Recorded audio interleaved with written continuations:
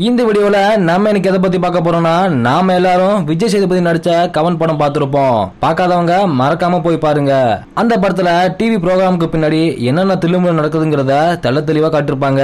இந்த படத்தை பார்த்ததுக்கு அப்புறம் நிறைய பேர் ரியாலிட்டி ஷோவை பார்க்கறதே நிப்பாட்டிட்டாங்க. பல பேர் தமிழ் சேனல்ல பார்க்கறத விட்டுட்டு டப் பண்ற இங்கிலீஷ் சேனல்ல பார்க்க ஸ்டார்ட் பண்ணிட்டாங்க. ஆனா அங்க மட்டும் என்ன உருப்படியாவா நடக்குது? இதே மாதிரி தான் தில்லுமுறை நடக்குது. இப்படியே நாம எல்லாரும் பார்த்த டிவி ஷோக்கு பேக்ரவுண்ட்ல என்ன நடக்குதுங்கிறத பத்தி தான் இந்த வீடியோல பார்க்க போறோம். இந்த வீடியோ செம்ம இன்ட்ரெஸ்டிங்கா இருக்கும். ஸோ ஸ்கிப் பண்ணாம இந்த வீடியோவை ஃபுல்லா பாருங்க. அதுக்கு முன்னாடி நம்ம சேனல் சப்ஸ்கிரைப் பண்ணாதவங்க மறக்காம சப்ஸ்கிரைப் பண்ணுங்க. லைக்கும் பண்ணிடுங்க. ஏன்னா நீங்க பண்ற ஒவ்வொரு லைக்கும் தான் எங்களுக்கு அடுத்தடுத்து வீடியோ பண்ண மோட்டிவேஷன் அமையும். வாங்க வீடியோக்குள்ள போலாம். அதுல நம்ம ஃபர்ஸ்டா பார்க்க போறது மேன் வர்சஸ் வைல்ட் டிஸ்கவரி சேனல்ல வர இந்த ப்ரோக்ராம பார்க்காதவங்க யாராலுமே இருக்க முடியாது. லேட்டஸ்டா நம்ம சூப்பர் ஸ்டார் ரஜினிகாந்த வச்சு கூட ஒரு எபிசோட் பண்ணிருந்தாங்க இந்த ஷோல ஹோஸ்டா வர பேகிள்ஸ பிடிக்காதவங்க யாருமே இருக்க முடியாது.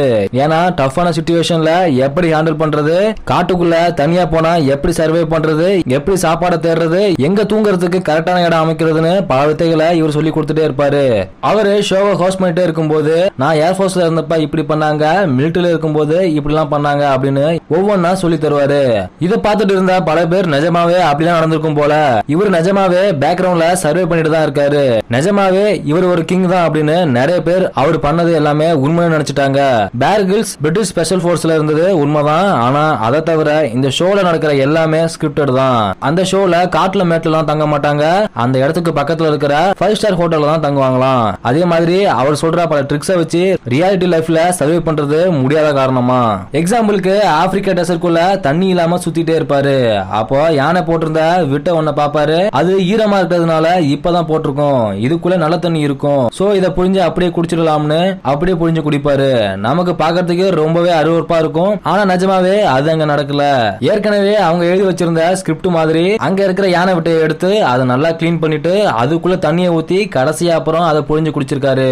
ஆனா நம்ம பார்க்கும்போது அந்த ஸ்கிரீன்ல அந்த யானையோட விட்டு எடுத்து அப்படியே டைரக்டா புழிஞ்சு குடிக்கிற மாதிரி தான் தெரியும். இதே மாதிரி அவர் பண்ற டேஞ்சரஸான டெக்னிக்ஸ் கூட ஸ்கிரிப்டட் தானா? எக்ஸாம்பிளுக்கு இவர் ஒரு எபிசோட்ல காட்டுக்குள்ள போயிட்டே இருப்பாரு.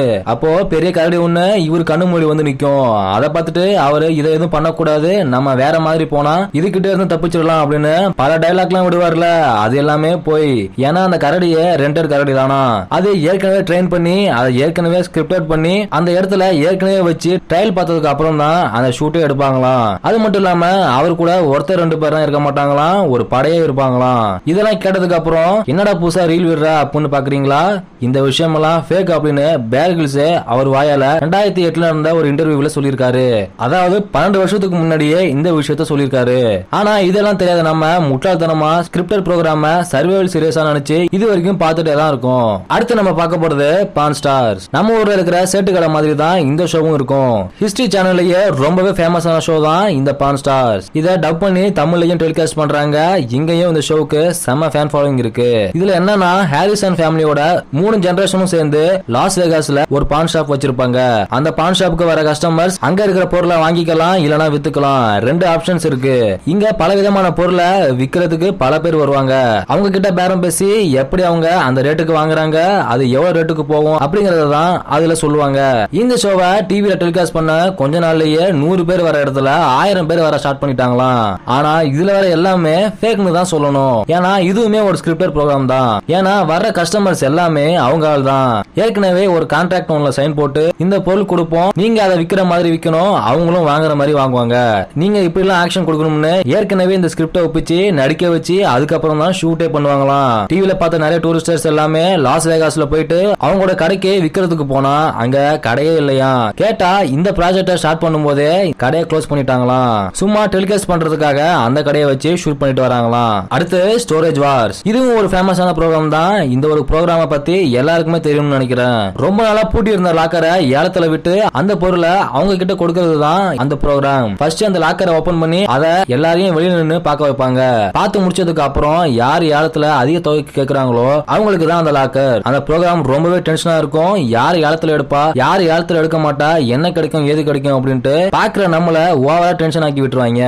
அப்படியே நம்மளுக்கு பிடிச்சவன் ஏலத்துல எடுத்தாலும் அவங்க பாவம் நஷ்டப்பட கூடாது அப்படின்ட்டு ஏங்குற அளவுக்கு அந்த ஷோ இருக்கும். ஆனா அந்த ஷோவும் சரியான ஸ்கிரிப்டட் தானா? ஃபர்ஸ்டே அவங்க ஓபன் பண்ணி பொருளெல்லாம் உள்ள வச்சு லாக் பண்ணி வச்சிருவாங்களாம். அதுக்கப்புறம் யார் இத ஏலத்துல எடுக்கணும் அப்படின்னு ப்ரொடியூசர் கிட்டயுமே சொல்லிடுவாங்களாம். அப்புறம் இவங்க எடுக்கிற மாதிரி எடுக்க வச்சு நடிக்க வச்சு ஷூட் பண்ணுவாங்களாம். இப்போ நம்ம பார்த்த எல்லா ப்ரோக்ராம்ஸுமே ஸ்கிரிப்டட் தான். இந்த வீடியோ கண்டிப்பா உங்களுக்கு பிடிக்கும்னு நினைக்கிறேன். சோ இந்த வீடியோ பத்தின கருத்துக்களை கண்டிப்பா கமெண்ட் பாக்ஸ்ல கமெண்ட் பண்ணுங்க.